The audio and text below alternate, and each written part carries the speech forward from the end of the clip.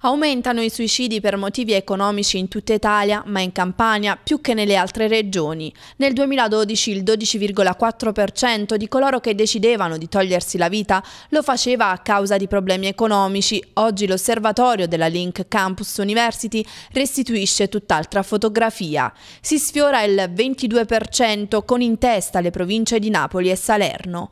La fascia di età più esposta resta quella che va dai 45 ai 54 anni, con un'incidenza pari al 34,1%, nonostante continui a preoccupare la progressiva crescita del numero di suicidi tra i giovani. Complessivamente infatti rappresentano il 20% del totale i suicidi tra i 35 e i 44 anni e il 10% circa quelli al di sotto dei 35.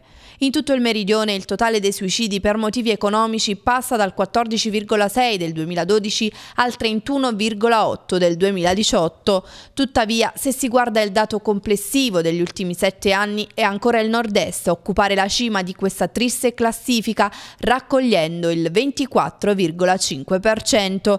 Di questi, il 41,8 sono imprenditori.